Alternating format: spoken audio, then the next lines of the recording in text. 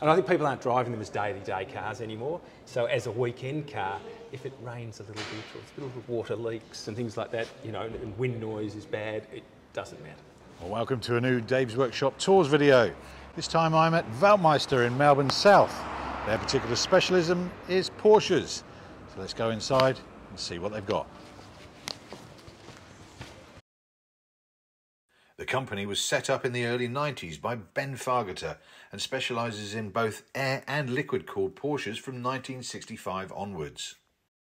Though Ben has moved on from the day to day running of the business, he remains in a consultancy role and carries out all the engine rebuilds that comes the company's way.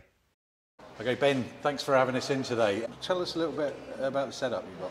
Oh, well, we've been around for since 93, so around for a while, just doing Porsches. Everything from normal servicing to race preparation, restoration, um, modifications. Yeah, yeah. Okay. Anything you can imagine. Great stuff. All right, Yeah. well, you want to show us about what have you Yeah, got yeah. here?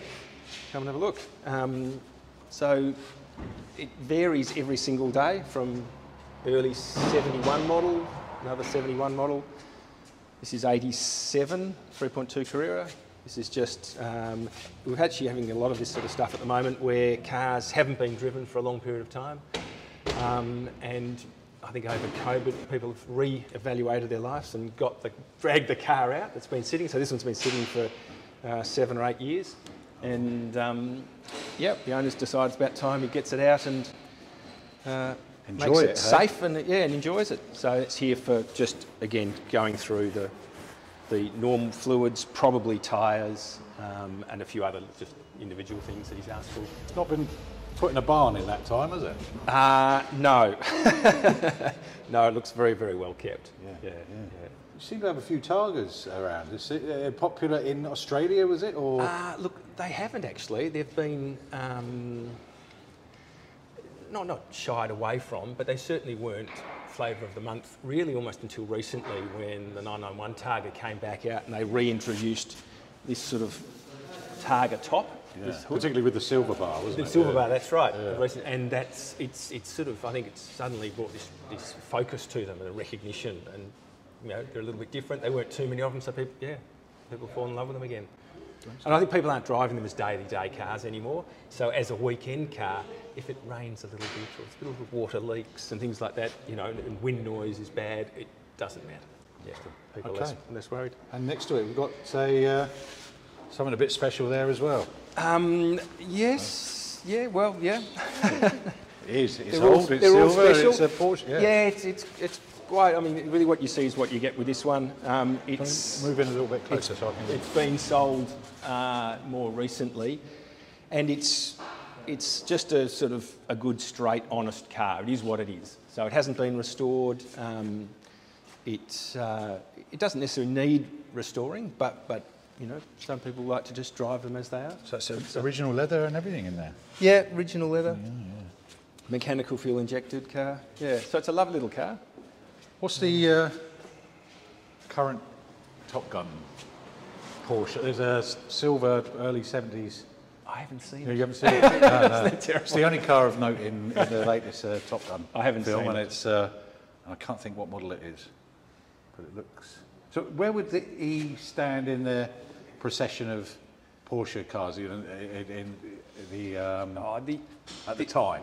um, so the, the S was the, the fast, the fast model, if you like, and then there was the E, um, and then there was a T and an L. But the E's probably just really lovely drivable, slightly smaller camshafts, slightly less power, same torque, but just a really lovely car.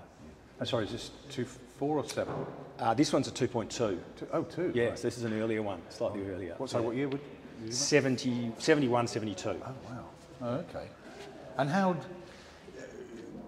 have over the years? I would imagine people have been tempted to upgrade engines on uh, from the 2.2. So, so, so when the cars are newer, or certainly 70s, 80s, 90s, we did a lot of, um, well, the world did a lot of upgrading. So the cars were changed from what they were, whether it be suspension, the look of the car's body, engines. And really in the last oh, probably 10 years or so, there's been a real push back to standard. So all the modifications that we've done, we're, we're actually reversing now and um, taking a lot of them back to factory standard. Yeah. And is that a fair part, part of the business then? Um, um, yes, it is. Yeah, yeah, yeah, yeah. There's another early one here, which is a left-hand drive American car, and that's try and have a look over there. Being, slowly being brought back to some sort of so this is, uh, it's been imported re uh, recently? Uh, I'm, I'm, not exactly sure when it was imported, but it certainly sat still for a long time. So it needs a fair bit of work to bring it back to rest, you know, to sort of. I mean, really, what you see is what you get with this one, and it's it's just a sort of a good, straight, honest car. It is what it is. So it hasn't been restored. Um, it uh, it doesn't necessarily need restoring, but but you know, some people like to just drive them as they are. So it's original leather and everything in there? Yeah, original leather. Yeah, yeah. Mechanical fuel injected car. Yeah, so it's a lovely little car. So where would the E stand in the procession of Porsche cars at the, the time? Um, so the, the, S was the, the fast, the fast model, if you like, and then there was the E, um, and then there was a T and an L. But the E's probably just really lovely drivable slightly smaller camshafts, slightly less power, same torque, but just a really lovely car. This one's a 2.2. Oh, two? Yes, right. this is an earlier one, slightly oh. earlier. What, so what year would 70, 71, 72. Oh, wow. Oh, okay. And over the years, I would imagine people have been tempted to upgrade engines on uh, from the 2.2. so, so, so when the cars are newer, or certainly 70s, 80s, 90s, we did a lot of, um, well, the world did a lot of upgrading. So the cars were changed from what they were, whether it be suspension, the look of the car's body, engines. And really, in the last oh, probably 10 years or so, there's been a real push back to standard. So all the modifications that we've done, we're, we're actually reversing now. And um, taking a lot of them back to factory standard. Yeah. And is that a fair part, part of the business? Yes, it is. Yeah, yeah, yeah, yeah. There's another early one here, which is a left-hand drive American car, mm-hmm. and that's try and have a look over there. Being, slowly being brought back. But before that, three things you ought to know about the Targa. Neither a cabriolet nor a coupe, neither a hardtop nor a saloon, but something completely new. The first safety cabriolet in the world with a fixed safety or roll bar. That's the blurb from Porsche at the 1965 Frankfurt show, when the Targa was introduced in response to the US market's increased safety requirements for open top cars sold in the country. But did you know that two cars can lay claim to beating Porsche to the configuration in the years prior to the Targa? Triumph offered the TR4 with a unique hardtop arrangement, widely known as the Surrey top. Like later Targas, it had a fixed glass rear window and an integral roll bar and detachable centre panel. This is five years before the Targa was on the roads.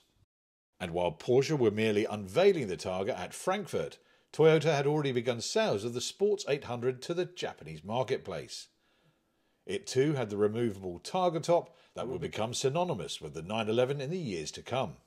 The name Targa is derived from the Targa Florio race on Sicily, where Porsche saw success in the 1950s. Und dann wir auf unsere Hausstrecke die Targa Florio. Und dann haben wir gesagt, Targa Flori. Und hat einer meiner Kollegen gesagt, nein, das sagen die Kunden Flori. Und da habe ich gesagt, Moment, dann lassen wir doch einfach das Florio weg. Und so ist der Name Targa dann entstanden. Nicht wissen, dass auf Italienisch Targa Schutzschild hat. Porsche dropped the idea of a roll bar for their 1995 993 Targa. Instead, they went down the route of what I suppose we'd call now a panoramic roof. The Targa roll bar then returned on the 2011 991. Uh, I'm, I'm, not exactly sure when it was imported, but it certainly sat still for a long time. So it needs a fair bit of work to bring it back to rest, you know, to sort of roadworthy condition. And then once it's drivable, I think the owner will see how far he wants to go, or you know, whether got, she falls in love with it. And, yeah, yeah. It's got a yeah. Well, patina's pretty uh, yeah. all on it. yeah, it's all there. Yeah. Yeah. No, I mean it's the sort of car that you know, really could do with a restoration to bring it back to its full.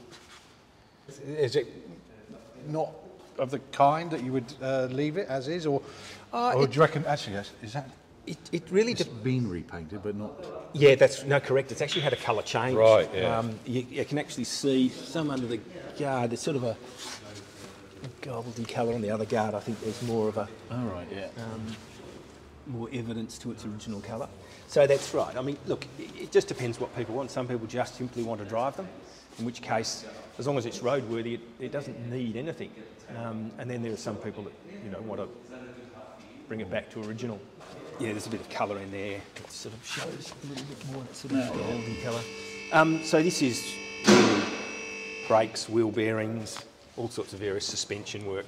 Um, some lights, uh, being American, the, the headlights have, have to be changed to make them legal for, for our standards. And Australian, is that, are they more uh, aligned to European or? Perfectly, Right. perfectly aligned to European. Yeah, yeah, yeah, yeah. Cool. Oh, it's going to be another crack, another Targa. Beautiful. Yes, another Targa. How, how do you go height-wise in, uh, in a coupe and Um, so I'm, I, I like, well, Targas are easy. well, No sunroof is good. So there's that sort of inch more headroom with a no sunroof car. Um, older seats that have been squished down. but yeah, no, all the cars that, that I've um, raced and that sort of stuff, I end up modifying the seating position so it suits me, yeah, which is as low as it can go. Yeah, yeah. Okay, next up. So in here's where um, just rebuild engines and gearboxes. Uh, no automatics, just manuals. Um, yeah, and at the moment there's a uh, this is a three litre SC from Japan. Um, slightly different specification, but fundamentally just an SC three litre. Where are you at in putting it back together and what's the uh, issue? Waiting for parts. Seems to be a common theme. Waiting for parts, yeah, even small parts. It's stuff that you know you'd imagine that would be on the shelf. Yeah, we're having real problems with, and it's a worldwide problem. So um, But parts-wise, is uh, they're not hard to come by for that? Uh, uh, no, no, no, no? No, not at all. No, everything's available, and if it's not available from the factory, there's fantastic aftermarket alternatives.